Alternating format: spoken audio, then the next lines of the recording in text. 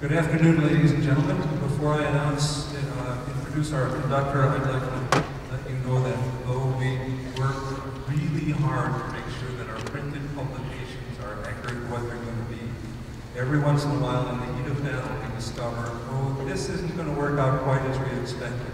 So there's a small change in the orchestra program.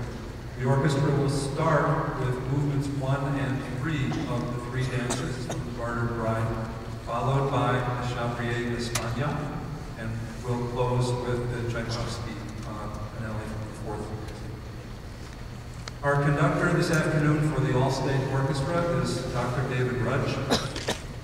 Uh, he has conducted orchestras in Europe, in Africa, in the Middle East, in South and Central America, a senior Fulbright Fellow and an International Artistic Ambassador with the U.S.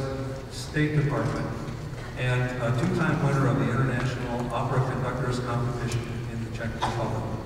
Dr. Rudge is currently the Director of Orchestras and Opera at the State University of New York at Fredonia.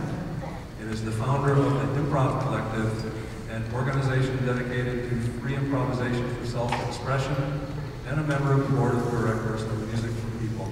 Ladies and gentlemen, please welcome Dr. David Rudge and the All-State Orchestra.